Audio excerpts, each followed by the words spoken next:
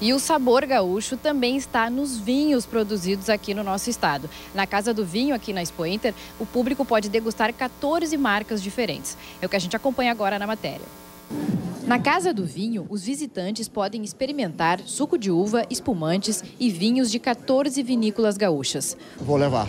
Provei e gostei. Degustei aqui do, uh, uma espumante né, uh, que era maravilhosa, uma espumante rosé. Em 2015, o Rio Grande do Sul cultivou mais de 700 mil toneladas de uva.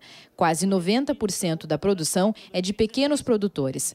No ano passado, mesmo com a instabilidade econômica, houve um crescimento de 7% na venda de produtos vitivinícolas. Nesse momento, há uma retração. No cômputo geral, uma diminuição de 4,3%.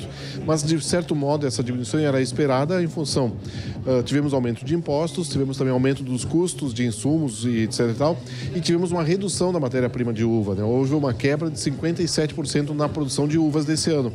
Apesar da menor produção e da queda na venda de alguns produtos no mercado interno, as exportações tiveram um bom resultado este ano. Nós temos até que comemorar, porque esse ano se o dólar está alto e, e, e, faz com que os importadores busquem produtos de menor valor, por outro lado, nos favoreceu e aumentamos em 33% as exportações no primeiro semestre desse ano comparado ao ano passado. Então, não é muito grande, são 2,2 milhões de, de dólares, 835 mil litros exportados no primeiro semestre, mas que eh, cresceram 33% em valor, o que é para nós muito bom e muito importante também.